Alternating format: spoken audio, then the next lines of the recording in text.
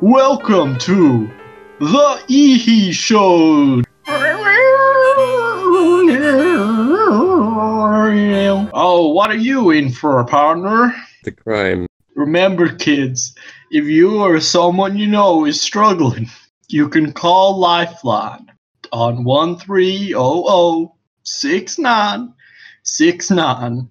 Oh, okay. I really am gonna go hang myself from the rafters of my cell.